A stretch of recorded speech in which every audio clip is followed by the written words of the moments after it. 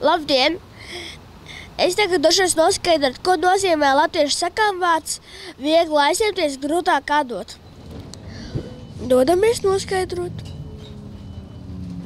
Viegli aizņemties, grūtāk atdot. Nu, tas jau pats par sevi to izsaka, vai ne? Mums patīk kaut ko ņemt, bet kaut ko dot ne tik viegli. Jāizņemas, nu, domājot par to, vai vispār varēs atdot. Vienmēr vajag apdomāt, pirms aizņemt. Jā. Tāpēc nevajag aizņemties. es vienmēr esmu uzskatījis, ka nekad nevajag aizņemties. Tev tas, to, ko tu aizņemies, tas tev noteikti da, daudz dārgāk izmaksās nekā, sakot, kā, ja tu to nopelnītu pats un, un uzkrātu šos līdzekļus pats. Tagad parunāsim ar ekspertu. Ja arī mēs esam izvēlējušies kaut ko iegādāties uz kredītu, mums ir jāsaprot un godīgi jāatbild uz jautājumu, vai es esmu tik bagāts, ka es varu atļauties šo kredītu.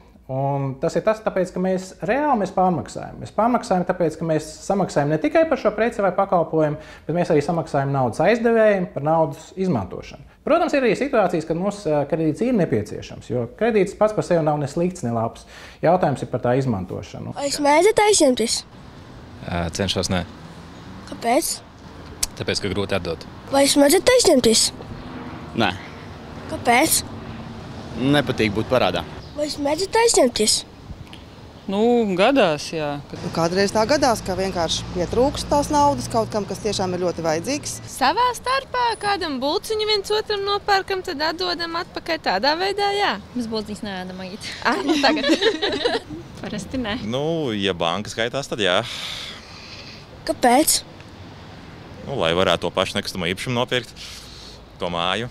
Vispirms īstenībā mums būtu jāizvērtē, eh, kāpēc vispār mums jāizņemās. Vai tā lieta, kas mums ir jāiegādājas, ir absolūti nepieciešama. Manuprāt, nav šausmīgi prātīgi, ja mēs eh, ņemam kredītu, lai iegādātos jaunāko telefonu ar septiņām kamerām un iebūvētu sniega lāpstu un visu pārējo lietu. Eh, Piemēram, ja mums jāiegādājas mājoklis vai auto vai izglītība, tad šajos gadījumos mēs orientējamies uz ilgtermiņa kredītu, kur tipiski arī šie procentu maksājumi zemāki.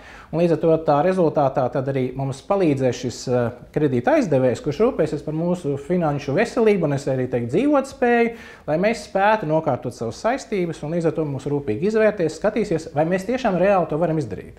Kā domājat jūs?